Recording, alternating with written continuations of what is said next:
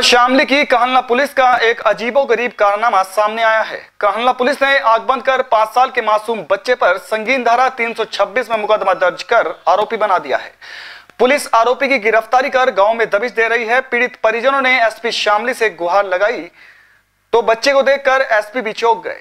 उन्होंने सीओ कैराना को जाँच के निर्देश दिए हैं। दरअसल मामला जनपद शामली के कहला थाना क्षेत्र के गाँव खंदरावली का है, जहाँ कहला पुलिस ने एक पाँच वर्षीय मासूम को अपराधी बना दिया है। कहला के गाँव खंदरावली में गत 12 दिसंबर को दो पक्ष, विनोद पुत्र बल्ली व महिपाल पक्ष के बीच झगड़ा हो गया था। इस झगड़े के बाद दोनों पक्षों में ग्रामीणों के हस्तक्षेप से समझौता हो गया था, जिसमें महिपाल ने थाने में चार लोगों के खिलाफ तहरीर दी थी। पुलिस ने शांति भंग में विनोद को जेल भेज दिया था। वही जब विनोद जेल से बाहर आया तो वह भी महिपाल के खिलाफ तहरीर लेकर कहले थाने में पहुँचा। इस पर पुलिस ने विनोद को ही थाने में बैठाकर उसे धारा 326 में जेल भेज दिया। जब वह जमानत पर बाहर आया तो विनोद ने एसपी श्यामली को शिकायत पत्र देकर बताया कि पुलिस अब भी उसके घर पर दबिश दे रही है। जानकारी करने पर पता लगा कि पुलिस ने विनोद व उसके पाँच वर्षीय पुत्र अक्षय व दो अज्ञात के खिलाफ मुकदमा दर्ज किया है। उन्होंने एसपी से सुरक्षा की गुहार लगाई। इस पर एसपी ने सीओ कैराना को जाँच के निर्देश देकर कार्रवाई के निर्देश दिए हैं। वहीं कहला थाना अध्यक्ष का कहना है की पहले मामला एनसीआर में दर्ज हुआ था। बाद में मेडिकल रिपोर्ट आई तो धारा 326 लगी है। मुकदमा लिखना पीड़ित का काम है, उसकी जाँच देखना हमारा काम है। आपको बता दें कि 326 की संगीन धारा जो पाँच साल के बच्चे को निरुद्ध की गई है, आईपीसी धारा 326 साबित होने पर अपराधी को कम से कम 10 साल और आजीवन कारावास की सजा है। अगर कोई शख्स किसी घातक हथियार से किसी को गंभीर रूप से जख्मी कर देता है, या तो आईपीसी की धारा 326 के तहत केस दर्ज होता है। किसी को चाकू मारना, किसी भी शरीर के अंग को काट देना, या ऐसे जख्म देना, दांत तोड़ देना जैसे जान को खतरा पहुँचाना, यह वह अपराध है जो 326 में आता है। कहांदला से न्यूज़ सेवन के लिए नाशिर अली की रिपोर्ट।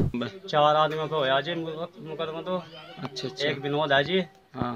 एक वो है अक्षय है जी बच्चा है पाँच साल का।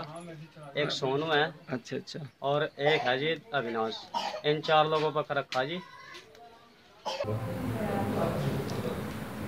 शामली जनपद के कांधला थाना क्षेत्र में खंदरावली गाँव में दो पक्षों में किसी छोटी बात को लेकर विवाद हुआ। जिसके संबंध में अभियोग पंजीकृत कर लिया गया है। एक व्यक्ति जेल चला गया है। अभी दो की गिरफ्तारी से सर इसमें एक पाँच साल के बच्चे पर भी धारा 326 लगा दी जिसमें आजीवन कारावास और या दस साल की सजा है। एक गिरफ़्तार होकर जेल चला गया है और दो की गिरफ्तारी होनी है। उन दो में कोई बच्चा नहीं है। तो बच्चे का मामला झूठा है सर? जी हाँ।